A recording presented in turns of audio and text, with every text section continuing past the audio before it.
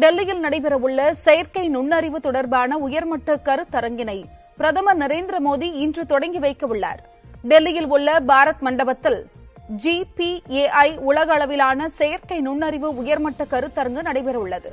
இதில் இருபத்தி ஒன்பது நாடுகளை சேர்ந்த உறுப்பினர்கள் பங்கேற்க உள்ளனர் மூன்று நாட்கள் இந்த கருத்தரங்கு நடைபெறும் என்று அறிவிக்கப்பட்டுள்ளது காகிதத்தில் உள்ள திட்டங்களை செயல் திட்டங்களாக நடைமுறைக்கு கொண்டு வருவதே இந்த கருத்தரங்கின் நோக்கமாக நிர்ணயிக்கப்பட்டுள்ளது இதற்காக செயற்கை நுண்ணறிவு தொழில்நுட்பத்தில் சிறந்து விளங்கும் அறிவியலாளர்கள் பங்கேற்க உள்ளனர் மேலும் செயற்கை நுண்ணறிவினை கல்வி தரவுகளை கையாளுவதில் பாதுகாப்புடன் பயன்படுத்துவது குறித்து விவாதிக்கப்பட உள்ளது இரண்டாயிரத்தி இருபத்தி நான்காம் ஆண்டு ஜிபிஏஐயின் தலைமை பதவி இந்தியாவிற்கு வழங்கப்பட உள்ளது இதன் ஒரு பகுதியாக டெல்லியில் நடைபெறும் உயர்மட்ட கருத்தரங்கினை பிரதமர் நரேந்திர மோடி இன்று மாலை ஐந்து மணிக்கு தொடங்கி வைக்கிறார்